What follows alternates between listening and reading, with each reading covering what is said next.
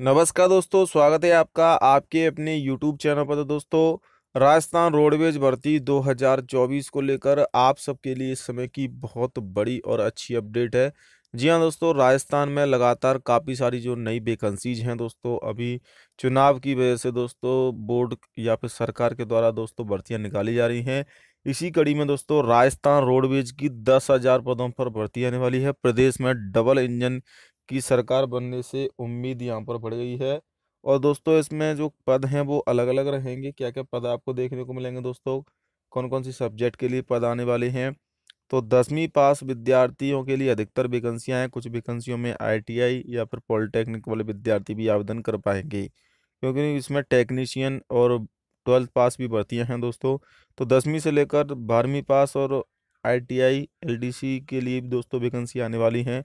तो राजस्थान रोडवेज़ भर्ती की क्या क्या अपडेट है दोस्तों? पूरी जानकारी शुरू मिलेगी आयु सीमा से लेकर योग्यता तक। तो वीडियो को शुरू से लास्ट तक ज़रूर देख लेना। साथ में चैनल को सब्सक्राइब नहीं किया है तो आपसे छोटी सी रिक्वेस्ट है, चैनल को ज़रूर सब्सक्राइब कर लें। तो सबसे पहले दोस्तों, आप जैसा कि देख पा रहे होंगे दोस्तों, आज की अपडेट है, प्रदेश में डबल इंजन की सरकार बनने के बाद रोडवेज़ में भर्ती की बड़ी उम्मीद है। जी हाँ दोस्तों, केंद्र और राज्य में बीजेपी की सरकार है और काफ़ी सारी वैकेंसी आने वाली हैं। लोकसभा चुनाव भी हैं दोस्तों। इसकी वजह से इन भर्तियों के नोटिफिकेशन बोर्ड जारी कर रहा है। तो यहाँ पर आप देख सकते हैं, प्रदेश के रोडवेज़ के खाली पदों पर एक नज़र। सबसे ज़्यादा जो पद खाली हैं दोस्तों, वो आपके तकनीशियन वर्ग में हैं। रिक्त पदों की संख्या अगर देखेंगे तो पैंतीस सौ के, छत्तीस सौ के आसपास पद हैं।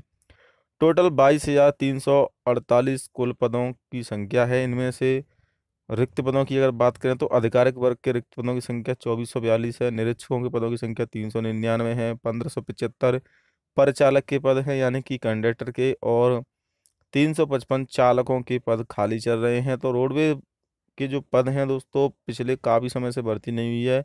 इसकी वजह से राजस्थान राज्य पथ परिवहन एवं रोडवेज़ के रिक्त पदों को बनने की उम्मीद जगी है, और इन पदों को भरा जाएगा। बसों के शेड्यूल तक निरस्त हो चुके हैं। काफ़ी सारी दोस्तों, बस भी खराब पड़ी हुई हैं, क्योंकि तकनीशियनों की कमी सबसे ज़्यादा है। इसी वजह से दोस्तों, अब नई भर्ती को लेकर प्रस्ताव भेजा हुआ है। यहाँ पर आप देख सकते हैं प्रस्ताव भेजा हुआ है। रोडवेज़ में रिक्त पदों की प्रस्ताव पूर्ववर्ती सरकार को भेजा गया है। आवश्यक होने पर नए सिरे से प्रस्ताव भेज दिया जाएगा। फ़िलहाल सरकार ने कार्य योजना मांगी है, लेकिन सरकार की ओर से रोडवेज़ के लिए बेहतर काम करने की पूरी उम्मीद है। तो दोस्तों, ऐसे में आपकी जो राजस्थान की रोडवेज़ की भर्ती है, वो जल्द ही आपको देखने को मिलेगी। काफ़ी इंपॉर्टेंट भर्ती रहेगी दोस्तों, राजस्थान रोडवेज़ की, क्योंकि इसमें दसवीं पास विद्यार्थी आवेदन कर सकते हैं। तो रोडवेज़ में खाली चल रहे हैं बावन पदों पर होगी भर्ती।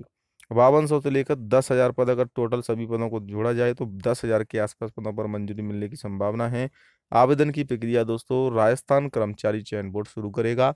दसवीं, बारहवीं आईटीआई पॉलिटेक्निक वाले विद्यार्थी इसमें आवेदन कर पाएँगे। चालक, परिचालक, कंडक्टर, टिकट काउंटर और एलडीसी बाबू के भी इसमें पद रहेंगे। तो काफ़ी सारी वैकेंसियाँ हैं जो आपको देखने को मिलेंगी रोडवेज़ विभाग में।